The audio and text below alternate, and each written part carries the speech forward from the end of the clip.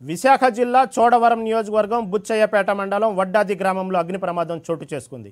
వరిగడ్డి వాముకు ప్రమాదవశాత్తు నిప్పంటుకోవడంతో మంటలు ఎగిసిపడ్డాయి. ట్రాక్టర్ సైతం మంటల్లో కాలిపోయింది. ఫైర్ సిబ్బంది చేరుకొని మంటలను అదుపులోకి తెచ్చారు. అగ్ని ప్రమాదంలో ఆరు లక్షల ఆస్తి నష్టం జరిగిందని బాధితులు పేర్కొంటున్నారు.